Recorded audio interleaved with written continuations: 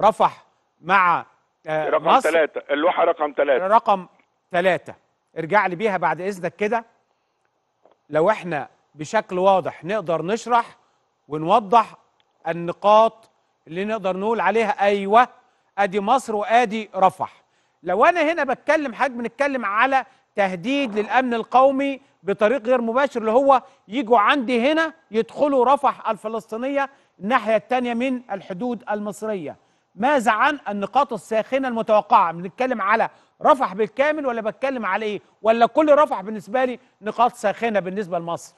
إحنا إحنا بالنسبة لنا رفح هتبقى ساخنة إذا دفع هو المواطنين غزة في اتجاه مصر. مم. عشان كده بقول لك إيه امبارح هو برضو يعني فاكر نفسه ذكي. بقول لك أنا هعمل ممرات آمنة عشان أسحب الفلسطينيين في اتجاه الشمال وكان يونس. نعم. أصل إحنا سيطرنا على المنطقة. شوفوا قال إيه برضه خد بالك آه. يعني هو بيفكر برضه. مش قاعد برضه آه لأن إحنا لو هو دفع الفلسطينيين في اتجاهنا هن...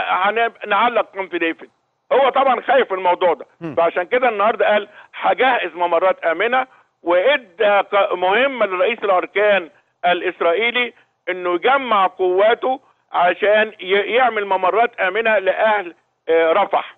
هو عايز يخش رفح ليه؟ لأنه حتى الآن لا قدر يجيب السنوار ولا أي حد من قادة حماس ما مسكهمش. النهارده أنت بتقاتل 128 ولم تحقق أي هدف. مم. فين قادة المقاومة الفلسطينية؟ ما مسكتهمش. كل المرة اللي فاتت قال في خان يونس. راح دخل خان يونس. نعم. ما مسكش حد. النهارده دلو- في رفح دلوقتي ده قالوا في رفح آه، فهو طبعا يعني في أزمة. هذا الرجل مستقبله السياسي ب- للأسف يا فندم عليه اللي دفع الثمن الشعب الفلسطيني الشعب يا فندم. الفلسطيني. آه طبعا. خلينا نبقى واضحين في الكلام. لا لا طبعا كده؟ دفع الشعب الفلسطيني. وعايز أقول لك حاجة والعالم كله اللي واقف يتفرج ومحدش بيعمل حاجة في أكبر مجزرة في التاريخ ولذلك النهارده لو دخل رفح والنهاردة في كارثة. مليون ونص كارثة. ه- هتبقى كارثة.